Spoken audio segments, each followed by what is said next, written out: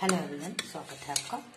आज हम बनाएँगे बिल्कुल नई तरीके से आलू की सब्ज़ी, जो खाने में बहुत ही टेस्टी लगती है। बिल्कुल दम आलू की तरह, और जिसको बनाने में ज़्यादा टाइम भी नहीं लगता है।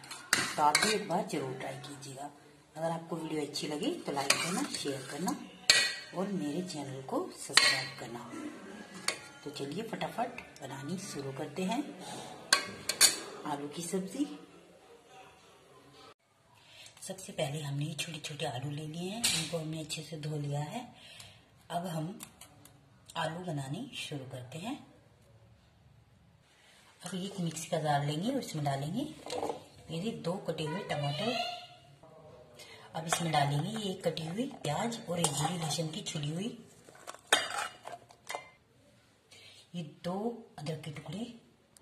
अब इनका पेस्ट बनाकर तैयार कर लेंगे। इस तरीके से पेस्ट बनाकर तैयार कर लेंगे।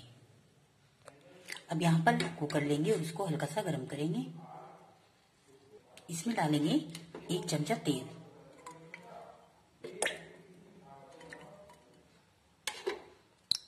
इस तेल को गर्म होने देंगे।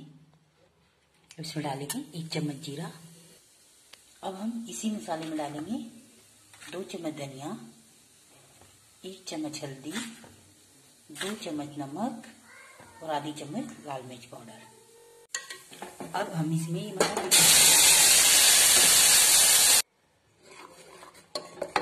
इसको हल्का सा मिक्स करेंगे। अब इसमें डालेंगे ये सब्ज़ी मसाला। एक छोटी चम्मच डेगी मिर्च, आधी चम्मच और ये एक पिंच हींग। अब हम इन्हीं सभी मसालों को अच्छे से पकने देंगे। मसाला जो है अच्छे से पक चुका है। कितना अच्छा कलर आया है मसाले का। अब हम इसमें आलू डाल देंगे। मसाले को हमें जब तक पकाना है, जब तक ये तेल ना छोड़ दे। अब हम इसमें ये आलू डाल देंगे। अच्छे से मिक्स कर देंगे इसको।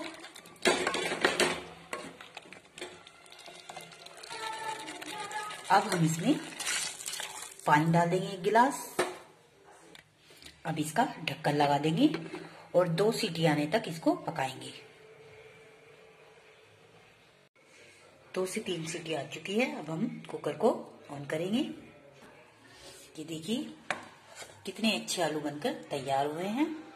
अब हम इसमें हरा धनिया डालेंगे।